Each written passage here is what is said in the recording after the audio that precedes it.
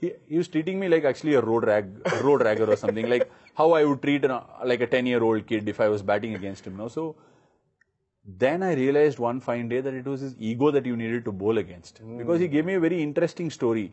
He said I had fever in a game at Rohtak hmm. and I smashed Harbhajan for 12 sixes. You know Harbhajan is a good off spinner. I said, okay, yeah, Harbhajan is a good off spinner. But that doesn't mean you, you smoke him for 12 sixes with fever. I then asked him, what was the story? He said, I opened the innings, I hit him for two sixes, I had fever, I came back in, I went in at number 10 and smashed him for another 10 sixes. The wicket was spinning square, you know. So what did you do? Every ball, because it was spinning, I decided I'll smack him over the leg side.